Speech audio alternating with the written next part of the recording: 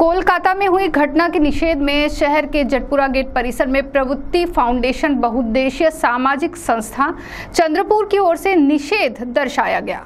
एक नज़र इस खबर पर। मेडिकल कॉलेज कोलकाता में युवा छात्र प्रशिक्षणार्थ डॉक्टर की ड्यूटी दौरान हुए अत्याचार और हत्या के निषेध में प्रवृत्ति फाउंडेशन बहुद्देशीय सामाजिक संस्था के अध्यक्ष आशीष माशिरकर इनके मार्गदर्शन में शनिवार को शाम जटपुरा गेट गांधी पुतले के पास कैंडल लगाकर इस निंदनीय घटना का निषेध दर्शाया गया। इस दौरान आशीष माशिरकर ने जानकारी देते हुए दोषी पर कड़ी कार्रवाई की मांग की है। कलकत्त्यामध्ये जी निंदनीय घटना आम्ही निषेध करतो। आणि आम्ही मोदी साहेबांना हे असं अशी विनंती करतो की त्यांनी कलकत्त्याच्या या महिलेला न्याय दिला पाहिजे आणि त्या नराधमाला फाशी झाली पाहिजे. आणि हे किती दिवस चालणार आहे इतके प्रत्येक डॉक्टर आणि प्रत्येक याच्यामध्ये असं काही होत आहे हे कुठेतरी थांबलं पाहिजे.